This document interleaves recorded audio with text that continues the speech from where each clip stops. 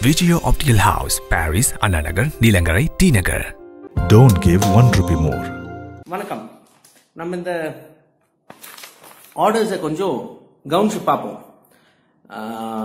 நம்ம எட்டுவழி சாலைக்கு முந்தா நேத்து ஒரு அற்புதமான தீர்ப்பு justice T S Sivagnanam sir honourable justice Bhavani Subbarayan ma'am அவங்களுக்கு ரெண்டு பேருக்கும் ஒரு பெரிய நன்றி விவசாய மக்கள் கிட்ட இருந்து மட்டும் இல்ல பல மக்கள் பாதிக்கப்பட்டிருப்பாங்க. விவசாய மக்கள் யாரோட நிலம் புடுங்கப்படுது அவங்க மட்டும் பாதிப்பு வந்திருக்காது. எட்டு வழி சாலை வந்திருந்தா ஆனா பல மக்கள் பல மக்கள்னா சேலத்துல வாழ்றவங்க தருமபுரியில் வாழ்றவங்க கிருஷ்ணகிரி வாழ்றவங்க பெரிய பாதிப்புக்கு ஆளாயிருப்பாங்க.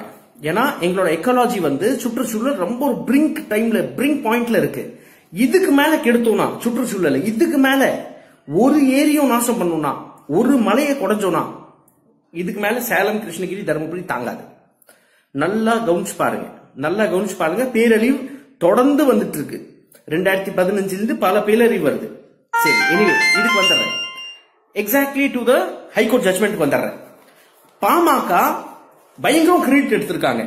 அவங்க தான் ஏதோ ஜெயிச்சு கொண்டு வந்த மாதிரி சொல்லிட்டு இருக்காங்க மிஸ்டர் அன்புமணி ராம்தாஸ் வந்து was represented by mister N L Raja senior counsel இவர் தான் மிஸ்டர் என் எல் ராஜா. இவர் தான் ரெப்ரசென்ட் பண்றாரு. எம் கே பாலு வந்து சப்போர்ட் பண்றாரு. கூட அசஸ் பண்றாங்க.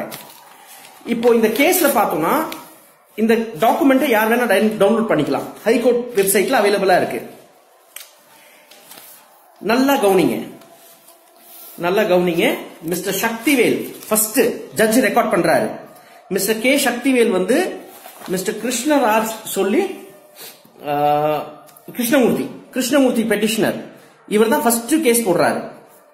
இவரோட கேஸ்ல மிஸ்டர் சக்திவேல் இவருக்காக நிக்கிறாரு லேர்னர் கவுன்சில் இவர் சில வாதத்தை சொல்றாரு அது ஒரு ரெண்டு பக்கத்துக்கு ரெக்கார்ட் பண்றாரு judge Nagasaila madam assisted by Tanvi இவங்க எங்க வக்கீல்? இவங்க கேஸ்ல 16th பாயிண்ட்ல கிளியரா மென்ஷன் பண்றாரு ஜட்ஜ் ஒன்னு ரெண்டு மூணு. ஒரு ரெண்டு பேஜ்க்கு இவங்களோட வாதத்தை போடுறாங்க. மிஸ்டர் கனகராஜ் அப்பியர் ஆகுறாரு. இவரும் ஒரு விவசாயிக்காக பிரேயர் ஆகுறாரு. இவரோட விஷயம் கூட ஒரு மூணு பக்கத்துக்கு இருக்கு. இது ரெக்கார்ட் பண்ணிட்டு இந்த ஹோல் கேஸ்ல ரொம்ப அற்புதமான ரெக்கார்டிங்ஸ் ஃபைல் பண்ணியிருக்கு கோர்ட் போலீஸ்காரங்களை தாறுமுரண்டு கிழிச்சிருக்காங்க ஜட்ஜ் அண்ட் தேங்க்ஃபுல்லி ஜட்ஜஸ் இருந்தனால போலீஸ்காரங்க அட்டூழியத்தை பண்ணல. இல்லட்டி கண்டினியூஸா மக்கள் ஹராஸ் பண்ணிட்டு இருந்திருக்காங்க. நாலு மணிக்கு வீட்டுல இருந்து தூக்குறது ஃபால்ஸ் கேசஸ் போடுறது உள்ள தள்ளுறது நம்மளும் உள்ள தள்ளினாங்க. மன்சூர் அலி கான் அண்ணா பேசினதுக்கு என்ன போட்டாங்க? தப்பு இல்லை அதுல. நான் தான் இன்வைட் பண்ணேன். என்னையும் கூட போட்டதுக்கு நான் சொல்ல ஆனா சொல்றேன். சும்மா ஒரு டயலாக் அடிச்சதுக்கு கேசஸ் போட்டு இவ்வளோ பெரிய ஒரு போலீஸ் ஃபோர்ஸ் யூஸ் பண்ணாங்க. அதுக்கு மேல ஃபாரஸ்ட் டிபார்ட்மெண்ட் கிட்ட இருந்து ஃபால்ஸ் அப்ளிகேஷன் வாங்கினதும் ரெக்கார்ட் ஆயிருக்கு.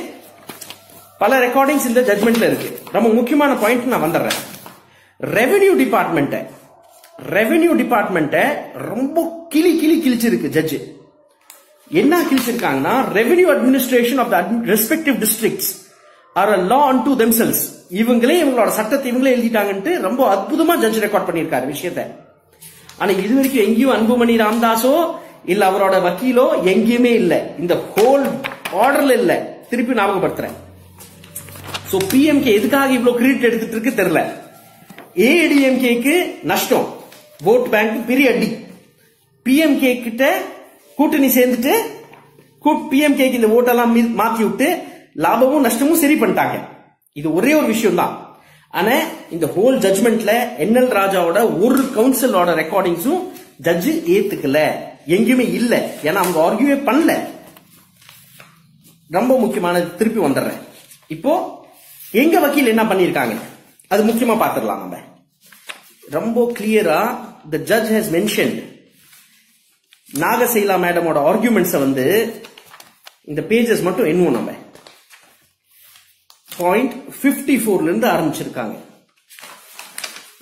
இல்ல பாயிண்ட் பிப்டி ஃபோர் இல்ல அதுக்கு முன்னாடி இருந்தது. நான் மார்க் பண்ணியிருக்கேன். பாயிண்ட் பிப்டி ஃபோர்ல ஆரம்பிச்சு பத்து பக்கத்துக்கு போகுது. Yeah fifty nine sorry point fifty நைன்ல ஆரம்பிச்சு ஆல்மோஸ்ட் டென் பேஜஸ்க்கு எங்க வக்கீல் நாகசீலா மேடம் என்ன ரெக்கார்டிங்ஸ் போட்டிருக்காங்களோ அது கண்டினியூஸா போகுது. Sixty four sixty five sixty six sixty seven and sixty eight almost ஒரு டென் பேஜஸ்க்கு ரொம்ப தெளிவாக எழுதியிருக்காரு. அப்புறம் ரொம்ப முக்கியமா மிஸ்டர் கபிலன் மனோகரன். இவரோட ஃபைண்டிங்ஸ்க்கும் ஜட்ஜ் ரொம்ப வேல்யூ கொடுத்திருக்காரு. இவர் வந்து எவ்வளவு வண்டி போகுது பாரத் மாலா ஸ்கீமை பிச்சு பிச்சு எடுத்திருக்காரு. ரொம்ப அற்புதமான வக்கீல் இவரு. யாருன்னு எனக்கு தெரியாது பர்சனலாக தெரியாது ஆனால் இந்த இதை படிச்சுட்டு நான் சொல்கிறேன் ரொம்ப பியூட்டிஃபுல்லான பாயிண்ட்ஸ் எடுத்து கொடுத்துருக்காங்க. ஸோ அதனால இது எக்ஸிஸ்டிங் டிராஃபிக் ஃப்ளோ அதோட எக்ஸிஸ்டிங் ரோட்ஸோட டிராஃபிக் ஃப்ளோ எவ்வளோ இருக்கு எல்லாத்தையும் அனலைஸ் பண்ணியிருக்காரு. ஸோ ஜட்ஜ் அதுக்கு ரொம்ப ரொம்ப ரொம்ப வெயிட்டேஜ் கொடுத்துருக்காரு. அக்ரிகல்ச்சருக்கு ரொம்ப வெயிட்டேஜ் கொடுத்துருக்காரு. இபிஎஸ் ஐயாக்கு ஒரு பெரிய ஆப் என்னன்னா there will be reduction in carbon footprint ஞாபகம் இருக்கா? இபிசிஐ சொல்லிட்டு இருந்தாரு. புகையினால எவ்வளவு பாதிப்பு வருது? புகையை குறைப்போம். எட்டு வழி சாலையை போட்டு சொன்னார் பாருங்க. தராமுறான் அந்த ஆர்குமெண்ட் கிழிச்சிட்டார்.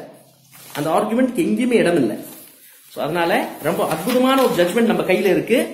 போலீஸை பயங்கரமா கொஸ்டின் பண்ணியிருக்கு. ரெவன்யூ அட்மினிஸ்ட்ரேஷனை பயங்கரமா கொஸ்டின் பண்ணியிருக்கு. நேஷனல் ஹைவேஸ் ரொம்ப அற்புதமா கொஸ்டின் பண்ணியிருக்காங்க.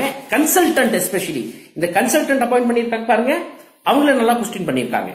அப்புறம் இந்த நோட்டிபிகேஷன் இந்த டிராஃப்ட் நோட்டிபிகேஷன் அனுப்பிச்சிருந்தாங்க. நிலத்தை புடுங்குறோம் சொல்லி அது கேன்சல்ன்ட்டு ஃபைனலா ரெக்கார்ட் பண்ணி ரொம்ப பியூட்டிஃபுல்லா ஜட்ஜ் ரெக்கார்ட் பண்ணிட்டாரு. Acquisition of lands under section three A one are liable to be quashed point number one not one so இதுதான் இதோட மூலமே. இன்னொரு ஒன்று விவசாய மக்களுக்கு சொல்லிடுறேன். ஜட்ஜ் இன்னொரு ஒன்று என்ன சொல்லியிருக்காருன்னா ரெண்டே வாரத்தில் வெறும் ரெண்டு வாரத்தில் எல்லா லேண்ட் ஓனர்ஸ்க்கு பை சான்ஸ் அவங்களோட ரெவன்யூ ரெக்கார்ட்ல ஏதோ கை வச்சிருக்காங்கன்னா ரெவன்யூ அபிஷியல்ஸ் அவங்க கிட்ட கம்யூனிகேட் பண்ணணும். லேண்ட் ஓனர்ஸ் கிட்ட கம்யூனிகேட் பண்ணி எட்டு வாரத்துக்குள்ள எல்லாத்தையும் சரி பண்ணிடணும்.